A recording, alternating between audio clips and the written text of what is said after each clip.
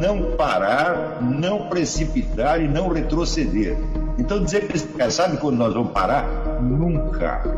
Nunca na sua porca vida. Hein?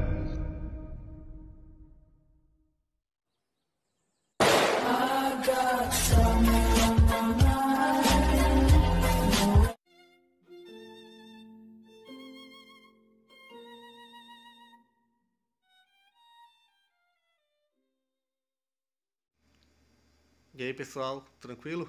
Então vem aqui antes do vídeo começar, pedir para vocês se inscreverem, quem não for inscrito, compartilhar, curtir, comentar. Quem puder seja membro do canal, que isso ajuda bastante. Tem também o link do Apoies. Quem puder ajudar nosso canal e apoiar financeiramente vai ser muito bem-vindo. Mas o mais importante é transmitir o conteúdo e os conhecimentos do professor Olavo de Carvalho para mais e mais brasileiros. Então compartilhe e ajude aí nossa causa. Muito obrigado a todos, todos os membros, apoiadores do canal. Fico muito feliz. Tenho certeza que a gente está no caminho certo. Então fiquem com o vídeo e até mais. Valeu! Então, é por isso que eu digo, uma, persona, uma psicologia da personalidade propriamente, eu nunca encontrei. Eu não, não, não vejo isso em parte alguma. Então, uma psicologia da personalidade precisaria começar por colocar este, este problema, quer dizer, como é que eu tomo conhecimento de uma personalidade e por descrever esta experiência. Hum? Quer dizer, o que significa exatamente você perceber uma pessoa como pessoa, não somente como uma presença física. É Mesmo quando você tem somente a presença física de uma pessoa desconhecida, algo da personalidade dela você já capta. É quase impossível você não captar nada. É quase impossível nós captarmos uma pessoa somente como presença física. Não dá para fazer isso. Hum? Sempre alguma outra coisa a mais chamar a sua atenção. A posição, o, o, o, o tônus, né? Uh, o modo de vestir, várias coisas. E, e, são, se você fosse fazer a lista, não acabaria mais. Você pegar um sujeito que você viu na rua, né? e o qual você percebeu, por exemplo, sei lá, que ele estava triste. Eu digo, muito bem, agora você me descreva todos os traços pelos quais você captou que ele estava triste. Você não consegue, tá certo? E, no entanto, o problema do conhecimento da personalidade consiste exatamente nesta descrição. É isso? Em segundo lugar, mesmo quando você percebe a, a, personalidade, você não tem noção de quais são as fontes interiores dela. Porque quando você percebe a personalidade, essa, ela já está pronta de algum modo. Claro que ela pode modificar em seguida, mas ela não apareceu inteira pronta, ela foi se formando de algum modo e você não conhece essa história. Portanto, você também não sabe dos traços percebidos quais aqueles que serão mais permanentes e quais os que podem desaparecer no instante seguinte. É então, para isso, nós teríamos que recuar desde a, dessa primeira impressão da personalidade para a sua fonte interior, isto é, como o problema dessa personalidade se colocou para o seu próprio portador. Ou seja, o problema do quem sou eu, ou do quem eu quero ser, ou de como eu estou parecendo, como as pessoas me veem. Todo mundo se colocou essas perguntas algum dia, e colocar-se essas perguntas é uma das matrizes da personalidade. Por exemplo, quando você é, percebe, que você é sistematicamente mal interpretado. Você fala e as pessoas não entendem outra coisa. Isso acontece com muita gente. Mas é natural que o sujeito pergunte o que está acontecendo comigo? Eu tenho uma inabilidade de expressão? Ou eu sou uma vítima da circunstância? O que está acontecendo? E esse problema que ela se coloca será uma das matrizes da sua personalidade em seguida. A personalidade será afetada pelas conclusões a que ela chegue neste, neste exame. E esse, esse tipo de perguntas nós fazemos sobre uma infinidade de coisas mas, por exemplo, vamos supor que você é, está num parque de diversões e tem aquela maquininha para você dar uma martelada e ver quanto que a bolinha sobe. Né? É, então você faz essa pergunta, quanto de força eu tenho realmente, né? comparado com os outros? E por que, que eu tenho mais ou tenho menos? É natural que você se coloque isso. Né? Você vai ter um resultado pífio, você pergunta que há comigo, eu estou doente, ou eu sou sempre assim, mas todos nós constantemente fazemos perguntas sobre a nossa personalidade e sobre o impacto que ela tem sobre os outros em como esse impacto afeta a relação delas conosco. Na verdade, talvez esse seja o assunto do qual nós mais pensamos. Não é isso? Agora eu estou aqui dando uma aula, eu tenho que pensar assim, cada palavra que eu digo vai soar de uma certa maneira, e eu quero que as pessoas me entendam. Tá certo? Então, eu estou pensando assim, o que eu quero dizer, o que você ouviu, o que você entendeu e como eu posso corrigir uma coisa pela outra. Isso quer dizer que pensar sobre si mesmo, você refletir sobre a sua personalidade, é quase dizer, um ato reflexo. Nós estamos fazendo isso o tempo todo. Sem, sem isso, não há possibilidade de convivência possível. Se você retirar este elemento, sobra só a convivência automática. Tá certo? Quando ninguém está reparando propriamente em nada. É então, como nós faríamos para recuar desde a primeira impressão, impressão geral da personalidade, até o centro dela, hum? o centro autoconsciente que a gerou, ao menos em parte. Eu digo ao menos em parte porque o seguinte, alguns dos elementos que compõem uma personalidade adulta foram colocados lá pelo seu próprio portador. Outros foram herdados, outros foram incorporados, copiados do meio, tá certo? E frequentemente nós não sabemos né, onde termina uma coisa, onde termina, começa a outra. Você vê, por exemplo, que as crianças pequenas, elas tendem a imitar tudo. Tudo que o pai e a mãe falam, elas tendem a falar é, igual. Hum? No começo falam tudo, só que depois eles começam a escolher. Se diz uma palavra, eles não repetem essa palavra. Diz uma outra, eles repetem. Quer dizer, já existe um princípio pessoal de escolha. Eu quero isso e não quero aquilo. Né? Então, quanto do que foi assimilado dizer, por imitação expressa uma escolha pessoal e quanto foi impregnado só por automatismo. Nós nunca sabemos. Então isso quer dizer que a nossa própria personalidade ela contém para cada um de nós um certo coeficiente de obscuridade. Uma parte nossa que nós não conhecemos, mas que nós sabemos que está ali.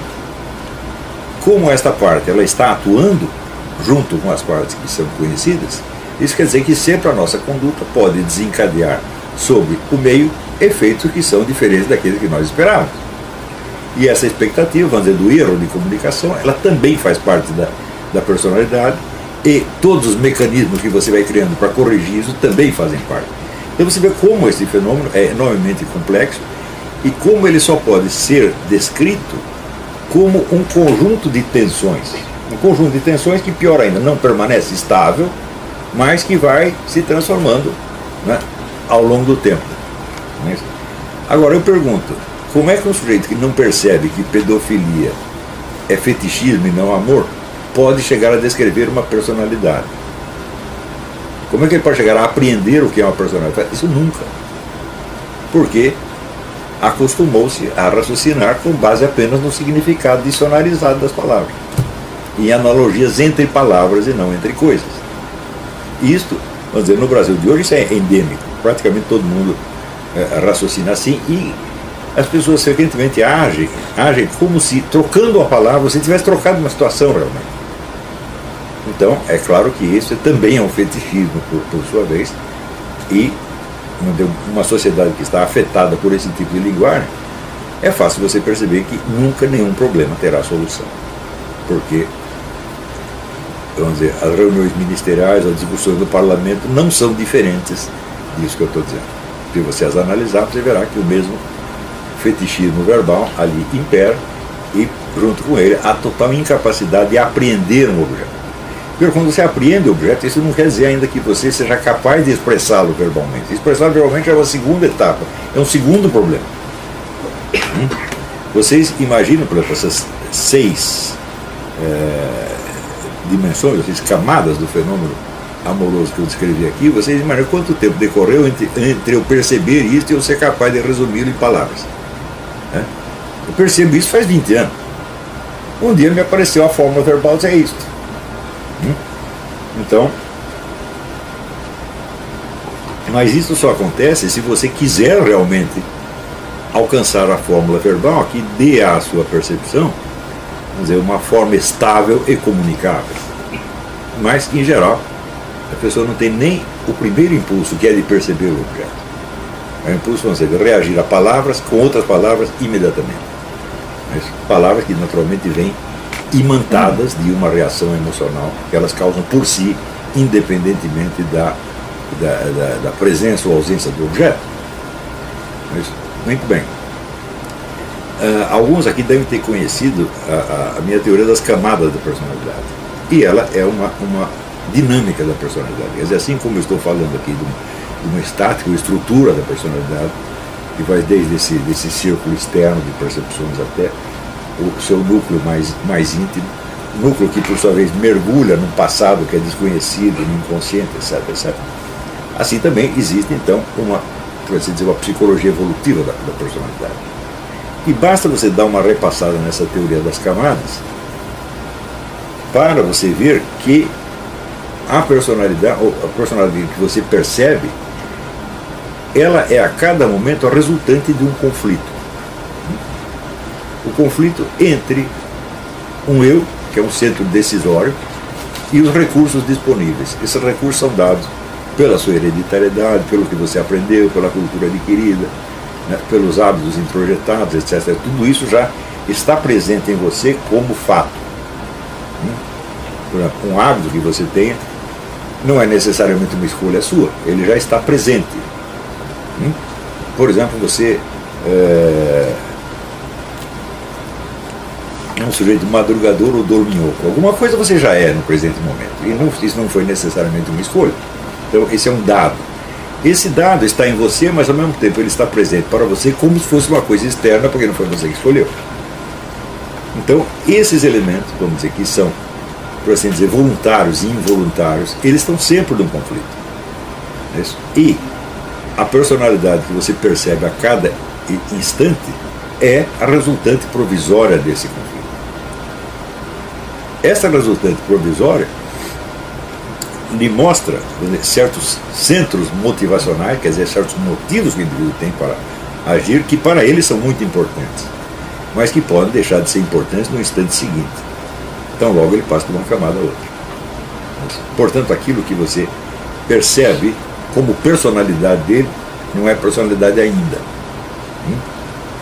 Isso quer dizer que a personalidade só pode ser conhecida a rigor depois o sujeito morreu, porque você conhece a vida inteira dele, então você sabe quais são os elementos estruturais permanentes, profundos, etc, etc, e quais foram é, elementos que se anexaram ali é, de passagem e foram é, rejeitados, eliminados ou neutralizados em seguida. Somente aí nós sabemos. Porém, a cada instante, nós também podemos imaginar projetivamente como será a continuação da vida dessa pessoa. E note bem, esse julgamento ele está implícito na própria percepção que nós temos da personalidade dela. Quer dizer, perceber uma personalidade é também fazer implicitamente uma previsão. Por exemplo, você perceber, eh, eu como professor particularmente em você perceber quais são os limites e possibilidades de aprendizado, de evolução que essa pessoa tem. Eles não são os mesmos em todas as pessoas. As pessoas têm mais capacidade, de aprender, evoluir, se transformar, etc. E outras têm menos. É então, esta, esta previsão, esta antecipação, ela faz parte da simples percepção de uma personalidade. Claro que ela pode ser, em seguida, conscientizada e tornar-se objeto de reflexão, mas de uma maneira implícita ela já está, já está dada. É isto o que eu chamei, em outro contexto, de círculo de latência. Você perceber qualquer coisa qualquer ente, não é só perceber a sua presença física, mas um certo potencial de ação que está contido nele e que o diferencia dos demais. O exemplo que eu dou é assim: você está andando por uma rua, você vê um cachorro deitado. Você sabe que esse cachorro pode abanar o rabo, ele pode não fazer nada, né? ele pode levantar e sair correndo, ele pode latir para você, ele pode sair correndo atrás de você, pode te morder. Mas você sabe que ele não vai sair voando. Se você não souber disso, você não percebeu que é um cachorro. Hum? Note bem, como você formou essa imagem de cachorro? Foi preciso que você visse vários cachorros e depois de você ter visto 1.235 cachorros, nenhum voou, você conclui que cachorros não voam? Foi assim? Não. Tem alguns empiristas idiotas que pensam que é assim. Quer dizer, você aprendeu por experiência. Na verdade, eu digo, você aprendeu tudo isso no primeiro cachorro que você viu. Você viu que nele havia alguma incompatibilidade entre a forma do corpo dele e o ato de voar. Isso está dado no próprio formato dele. É então, se você não tivesse percebido dizer, a forma essencial do que é um cachorro no primeiro cachorro, se você só tivesse percebido nele algum traço acidental, por exemplo, o formato da orelha ou a cor, depois você veria num segundo cachorro algum outro aspecto acidental, num terceiro aspecto acidental, no terceiro cachorro e assim por diante, e jamais você conseguiria formar a imagem de cachorro. Portanto, a percepção da essência de um objeto é imediata e é dada no primeiro objeto daquela espécie que você viu. Claro que você pode se equivocar às vezes.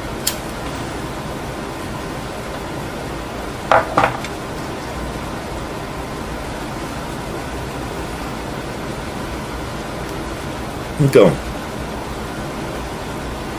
essas primeiras percepções, elas estão ricas de, de, sugestões. Quer dizer, você percebe as coisas, os entes, não apenas como presenças, mas como possibilidades de ação, que estão implícitas nele e que fazem com que ele seja o que ele é.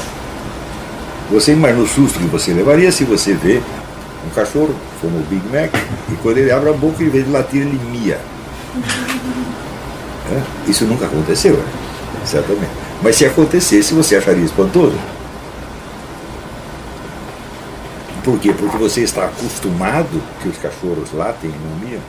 Quantos cachorros você precisou ver para chegar a essa conclusão? O primeiro cachorro que latiu, você já percebeu que era isso que ele faz. É isso? E os gatos também. Então, o que nós percebemos numa personalidade é exatamente o que eu chamo de círculo de latência. Quer dizer, um conjunto de desenvolvimentos possíveis, pelo menos nos próximos instantes. Você tem uma antecipação da conduta dessa pessoa, pela impressão que você teve da personalidade. Claro que essa, essa, esta impressão ou esta antecipação pode ser desmentida. A pessoa pode, inclusive, ela pode mudar de um instante para outro, decidir fazer alguma coisa que não combina com o que ela era antes. Todos nós podemos fazer isso. Mas esta percepção antecipativa, ela está sempre presente em tudo que nós percebemos e, no caso da personalidade, mais ainda, porque a personalidade é um dos elementos mais ativos que existem. Perceber a personalidade não é como perceber uma pedra. Não é isso? Quando você percebe uma pedra, você sabe que ela não vai se mover, mas você sabe que ela tem algum peso. Não é isso? E isso é a ação que ela está exercendo sobre o chão que ela, é, em que ela se assenta. Tá certo? É, você sabe que ela tem uma certa consistência. E a consistência de uma pedra é diferente da outra, assim por diante. Se você vê um pedaço de granito, um cristal, etc., você sabe que a consistência dele é diferente, ainda que você não o toque. Tá certo? Então, essa reação que você tem quando você o toca, ela é antecipada na simples percepção visual que você teve.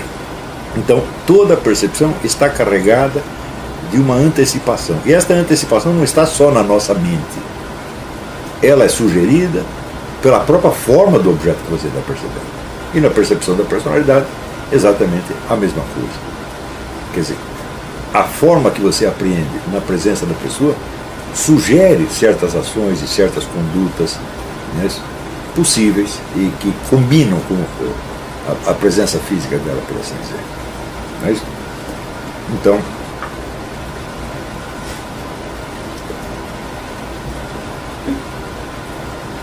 é claro que hoje em dia você tem uma série de elementos culturais que tornam essa percepção é, mais difícil.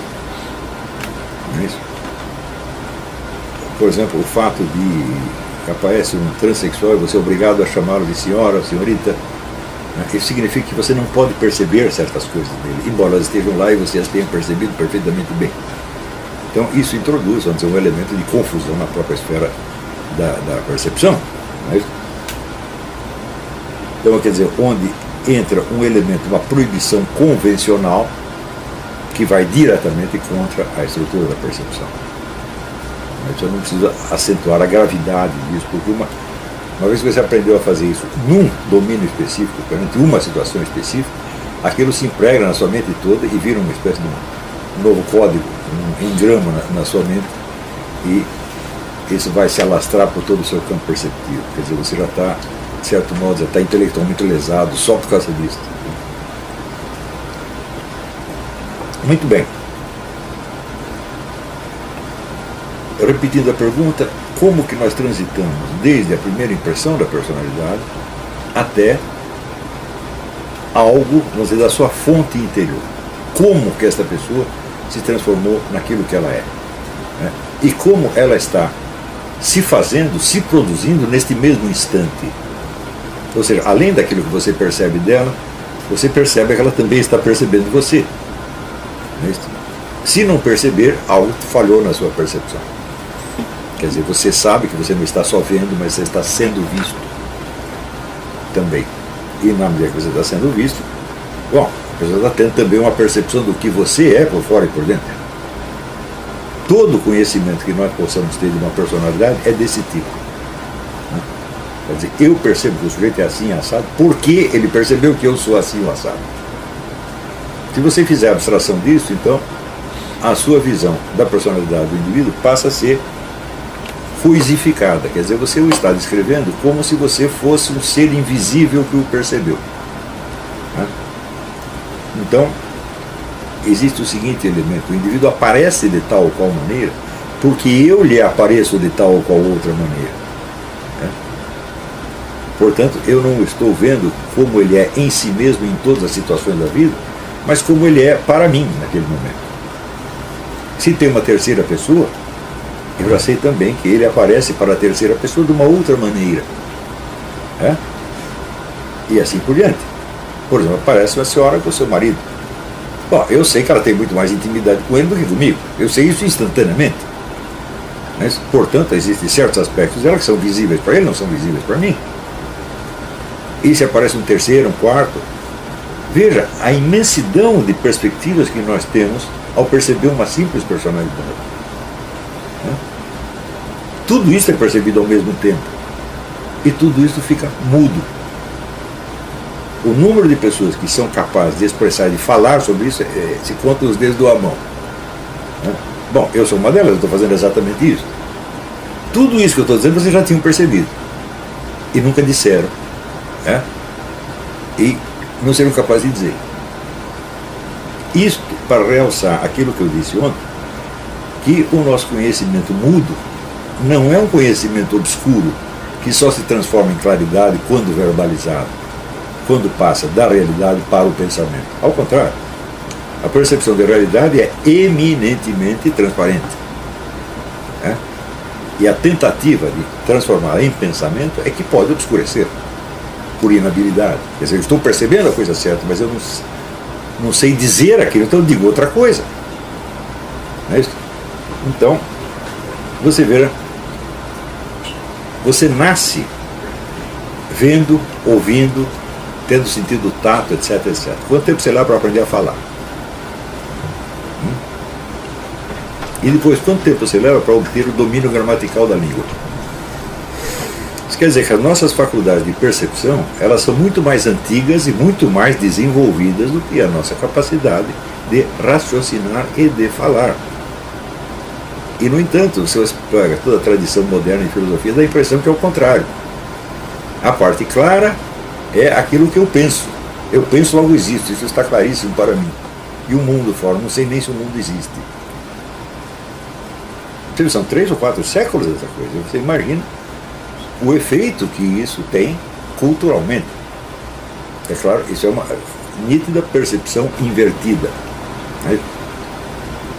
Então, por exemplo, se eu coloco uma questão filosófica sobre a existência do mundo exterior, bom, aonde eu coloco o problema da realidade do mundo exterior? Eu coloco esse problema no meu pensamento. Eu não posso colocá-lo na própria realidade. Hum? Eu não posso colocar, a realidade do mundo em dúvida na própria esfera da realidade, eu só posso fazê-lo no meu pensamento. Isto já é a prova de que esse problema só existe para o pensamento e não existe na realidade. Portanto, não existe na minha realidade também. Né? Isso quer dizer que o problema, dizer, da, problema filosófico, pseudo-problema filosófico, da, da existência do mundo exterior, só pode ser colocado depois que o pensamento evoluiu de tal maneira e conseguiu criar um aparato tão complexo de modos de, de expressão e raciocínio que ele começa a parecer uma, uma dimensão independente.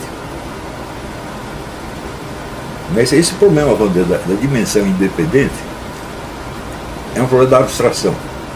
Outro dia, inclusive numa aula, eu comentei outro dia, e no fim do século XIX apareceram alguns músicos, compositores, que falavam da música pura. É então a música pura é uma pura proporção matemática entre sons. Ela não tem nada a ver com os sentimentos que ela desperta no ouvido, no ouvinte. Tá certo? Então, se uma composição atender, vamos dizer, as regras, a lógica musical, ela é boa, ainda que ela soe de maneira horrível né, aos ouvintes. Entendeu? Muito bem, mas se existe esta música pura, por que vocês só perceberam agora? Né?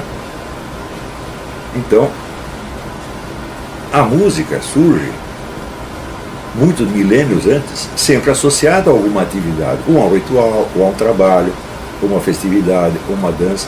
Nunca era música pura, era sempre música para alguma coisa. E levou milênios para que os músicos começassem a perceber na música a sua própria lógica interna, separada dos contextos em que ela é usada. Ora, esta música pura, portanto, só existe como abstração na cabeça do músico. Não existe como realidade. Ela é um aspecto possível que pode ser pensado isoladamente depois de que você se concentrou bastante tempo naquele aspecto. Né? Mas você pode dizer, existe a música pura? Claro, não, ela não existe, ela nunca existiu. Ela pode passar a existir se você a fizer. Quer dizer, uma música que não presta satisfações a mais nada, nem o ouvinte, só a sua própria lógica interna. Claro, nós podemos fazer, é, fazer isso também. Mas isso não é uma dimensão existente, é uma dimensão da possibilidade cognitiva humana, não uma dimensão da realidade. E toda a tradição cultural que nós herdamos nos últimos três ou quatro séculos é, é baseada nessa espécie de torção. E é por isso que na psicologia da personalidade você vê a personalidade sendo frequentemente reduzida aos seus aos traços isolados pelas quais você pode descrevê-la. Está entendendo? Isso é uma crítica que eu faço a toda a psicologia da personalidade. Gordon Allport, Isaac, todos eles. Mas, quer dizer, eles criam quadros e tabelas de características que podem de algum modo ser quantificadas ou por teste ou por observação, etc, etc, etc. Mas é evidente que primeiro, esses traços, ainda que estejam presentes na pessoa, eles não estão isolados uns dos outros. Né? Então, se você tem uma característica, você não atende de maneira isoladamente das outras. Por exemplo, um sujeito é preguiçoso e covarde. Bom, ele é covarde porque ele é preguiçoso é preguiçoso porque é covarde? Esse não é um problema Tostines. Né? É uma conexão que existe realmente. Quer dizer, existe um traço mais fundamental que determina o outro. E como é que você vai saber, pela simples tabela, qual é a ordem dos fatores? Né? Então, você separou os fatores, você os desarticulou, e é este conjunto de pedaços quebrados você chama de personalidade. Quando eles são exatamente o contrário de uma personalidade. A personalidade é uma coisa inteira que se apresenta a você toda de uma vez. Não é isso? As características isoladas são um produto da mente do observador, da mente do estudioso. E só existe para ela. Não existem na realidade como tais. Está entendendo?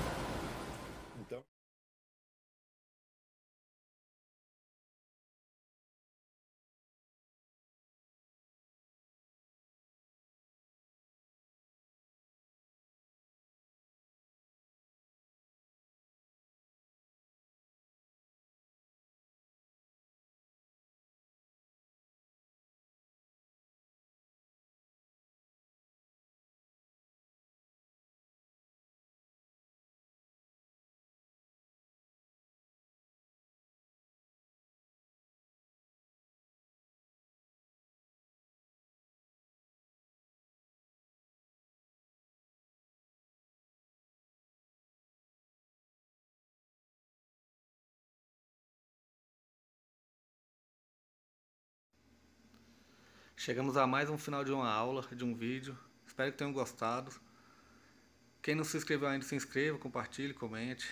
Ajude nosso canal, apoie, seja membro. E ajude o nosso canal a chegar a cada dia a mais brasileiros que precisam muito do conhecimento do professor Olavo de Carvalho. Então é isso aí, fique com Deus, até o próximo. Valeu!